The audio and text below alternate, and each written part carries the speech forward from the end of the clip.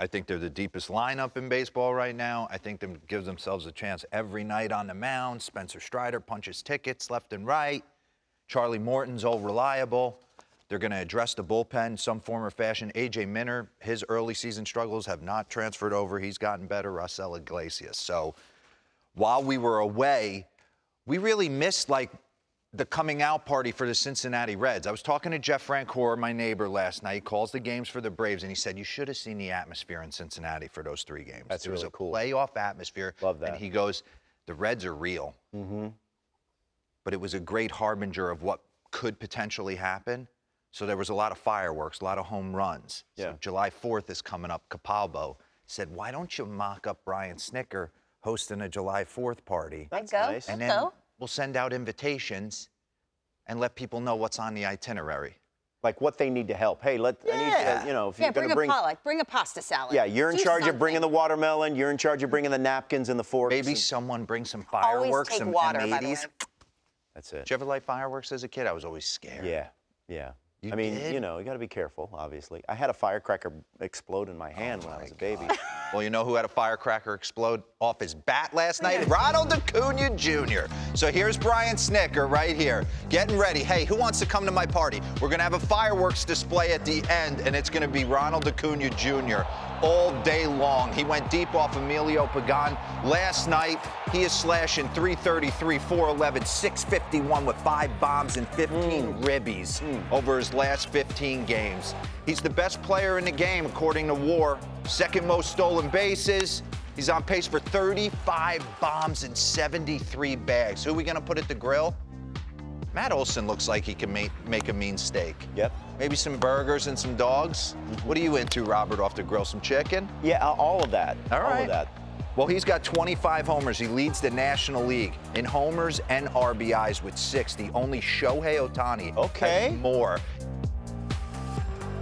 Get to know me. Marcell Ozuna.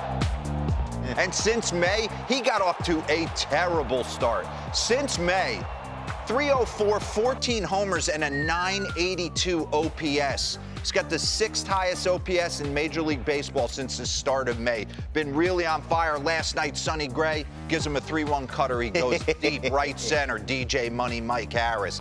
Got off to a slow start, Yep. was nicked up. Damaged goods coming in. Some people were saying, oh, sophomore slump? No chance. Oh, too don't- yeah, you're too small. Michael Harris right back after it. He's hitting 435 with four homers, 13 ribbies, and an OPS north of 1100 over his last 18. And the dress code, wear something tight. Mm-hmm. Spencer Strider always wears the tight pants, and he was on fire last night. And to watch him, he incorporated a lot more off speed into his arsenal last night. He kept him guessing. We're going to get to an AB with Correa right here that I thought kind of showed it perfectly. The example of mix, if he mixes in this breaking ball, he's tough to beat. So he goes heater up in the zone 97 right by him.